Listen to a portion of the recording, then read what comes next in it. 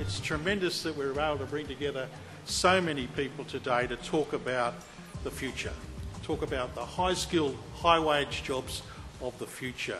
We've got 15 businesses here today showing us the future, but the future that is actually with us now. These businesses are doing remarkable work driving the clean energy technologies of the future.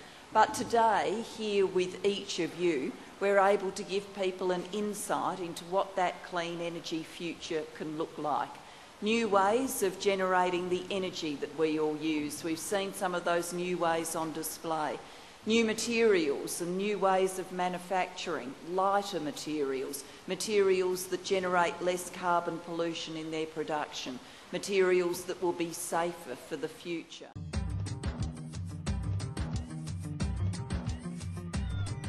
Um, we manufacture water jet cutting machines and we produce ultra high pressure water jet cutting pumps. Um, and these pumps uh, are servo driven, which is a, a new technology differing from the old technology which was hydraulic driven.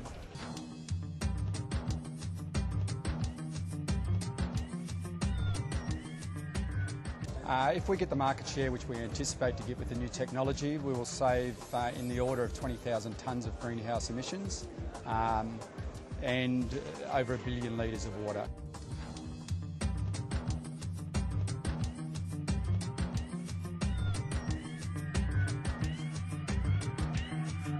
The old sources was a hydraulic system, so the, a typical hydraulic uh, intensifier pump would, uh, would be about 60% efficient, whereas our technology is about 90% efficient. Um, so therefore, there's, there's very large savings.